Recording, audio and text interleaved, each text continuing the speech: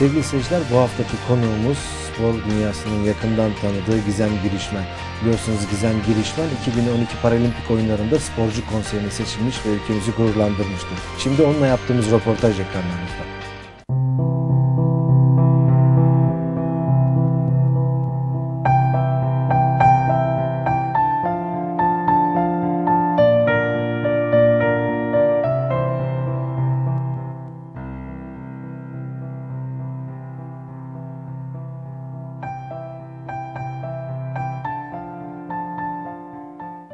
Sevgili seyirciler şu anda Gizem Girişmen'le birlikteyiz. Gizem Girişmen'in çalıştığı ofisteyiz. Evet Gizem tebrik ediyoruz ilk önce. E, sporcu konseyine seçilen ilk Türk sporcusun. E, bize bu sporcu konseyini ilk önce bir anlatır mısın lütfen? Ee, Ben Uluslararası Paralimpik Komite Sporcu Konseyi'ne seçildim. 2012 Londra Paralimpik Oyunları'nda oraya e, oradaki organizasyona katılan sporcuların oylarıyla e, seçilen sporculardan bir tanesiyim. 6 tane yaz oyunlarından sporcu seçildi. 3 tane de 2014 Soçi kış oyunlarından seçilecek ve e, kurulumuz tamamlanmış olacak. Bu kurulun görevleri nedir? Bizi bu konuda aydınlatır mısın lütfen? Ee, dediğim gibi Uluslararası Paralimpik Komite'nin e, yapısı altında yer alan birçok komiteden bir tanesi Sporcu Konseyi ve e, öncelikli görevimiz sporcuların sesi olmak, onların önerileri, sorunları, projelerini dile getirmek. E, çok önemli bir görevi var çünkü bu tarz organizasyonlarda sporcunun sesi ön planda olmadığı zaman çok sağlıklı bir işleyiş olmuyor. O anlamda bize çok önemli görevler düşüyor. Peki bu konseyde Türklere bakış nasıldı? Biz biliyorsun olimpiyatlara aday olduk birkaç kez. E, Şimdi de 2020'ye adayız. Sence Türkiye 2020'yi yapabilir mi? E, Sporcu arkadaşlarının ve bu komisyondaki diğer üyelerin e, Türkiye'ye bakış açısı nasıl? Ee, Ben açıkçası bir sporcu olarak e, İstanbul 2020'nin gerçekleşmesini çok isterim benim ülkemde. E, Bunu görmeyi, e, o olimpiyatlarda hala spora devam ediyorsam yarışmayı da çok isterim. Bunu yapabilecek kapasitede bir ülkeyiz. Doğru planlamayla, düzgün çalışmayla, plana sadık kalarak etap etap bu işi gerçekleştirebiliriz diye düşünüyorum. Son dakikaya bırakmadan her şeyi planlı yaparsak çok güzel bir olimpiyat düzenleyebiliriz. Sen e, tesadüfen Bonn'da bizim yapılan sunuma katıldın. Türkiye adına yapılan 2020 sunumuna katıldın. Orada e, sporcu konseyinin bir toplantısı vardı. Sen de katılmak istedin ve seni de davet ettiler. Sen de gittin. Oradaki izlenimlerin nasıldı? Neler bekliyorlar Türkiye'den?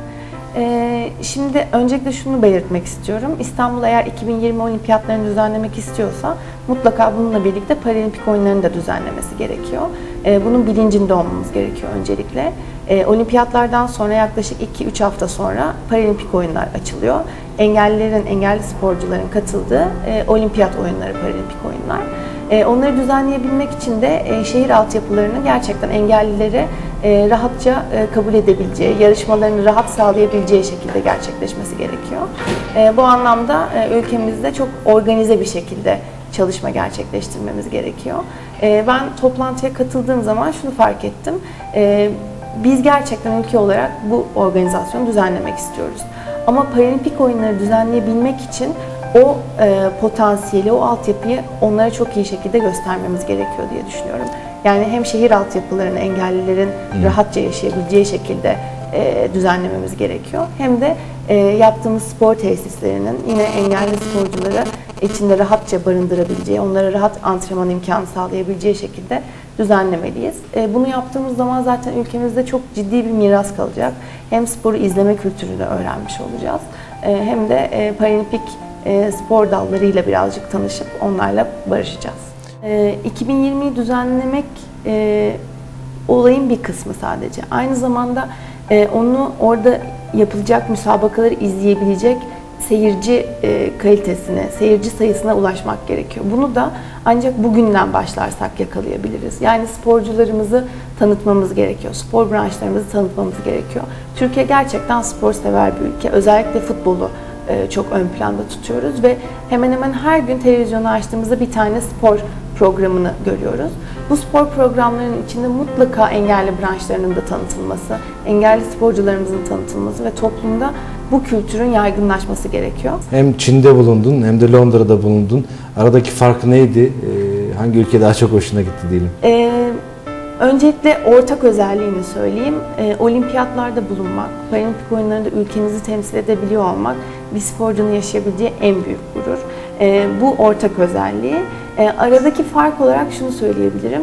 İngiltere gerçekten halkını çok iyi eğitmişti. E, bütün spor branşlarını hem izleme konusunda, tanıtma konusunda. Dediğim gibi bu işte e, medyaya, televizyonlara çok önemli görevler düşüyor.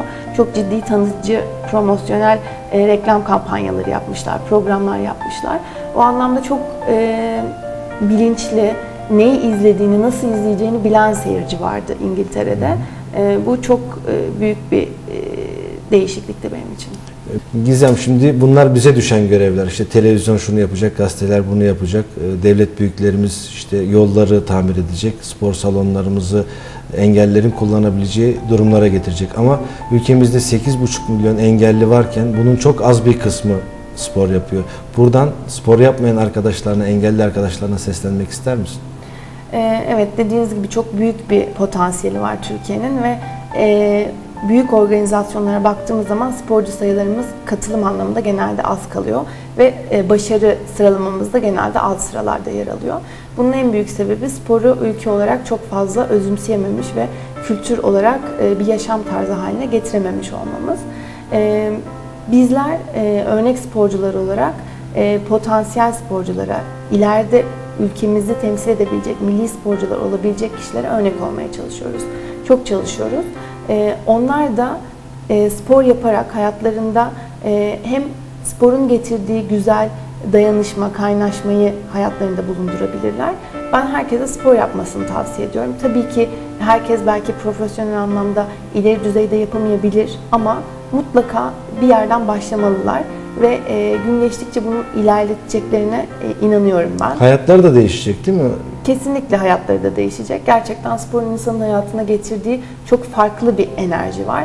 E, Bunu ben tatmalarını isterim ve eğer ki ileride ülkelerini temsil edecek kadar başarılı bir sporcu olmayı e, düşünüyorlarsa her gün çok çalışmalarını ve bu hayali hiçbir zaman gözlerinin önünden e, geri plana atmamayı tavsiye ederim. Sevgili seyirciler şimdi de tekerlekli